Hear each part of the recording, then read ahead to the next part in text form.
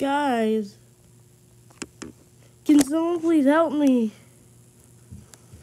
Please, please in the comments tell me if you have the same exact problem. Because my Roblox won't let me join the game. But everyone else can. See, watch. It just freezes. Someone please help me. All I want to do is play Roblox. And see, it just loads so, so slow. Can someone please help me?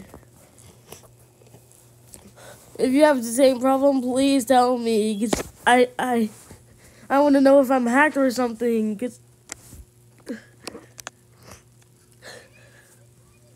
please, guys, please.